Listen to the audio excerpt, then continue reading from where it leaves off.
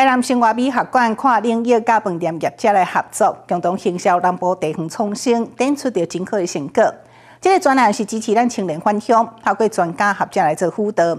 南方青年若是积极的导力，伊着在地文化资本，未来再做咱家乡产业的新机会。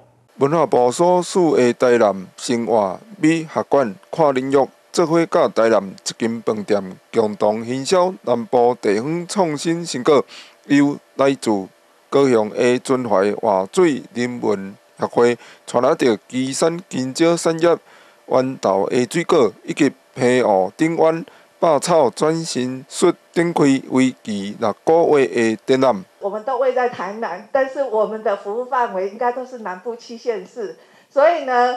呃，我们金门有很好的自然资源，呃，几乎是世界级的。那时候在辅导金门的地方创生，我们喊出来的口号是“世界的金门”吗？那个主管老师，啊，就是呃，金门有非常呃保留非常好的自然资源，哈。洪清章老师下午会跟我们分享，然后有战地文化，有闽南文化，然后吕局长的饮食文化是。讲的一口好菜，也很会做菜。饭店总经理李丽玲表示，这次更加是直接采讲着平湖在地的食材，导入着研发餐桌，将百草绿菜实质的照由生活饮食推广给大家。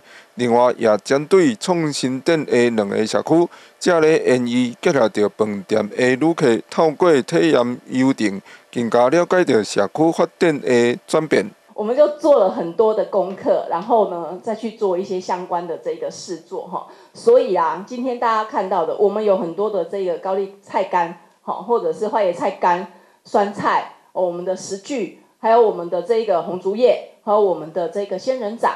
但是呢，各位今天都让你看不到、吃不到哈，但是你尝得到。这点单位表示，展览名称为“发新印”。就是发新的的台语发音，这次展出以着新的象征着原有的传统社区产业、文化、历史、人民，经由地方创新，各自展现地方社区的韧性，迸发出新的生命。记者陈家新，东区采访报道。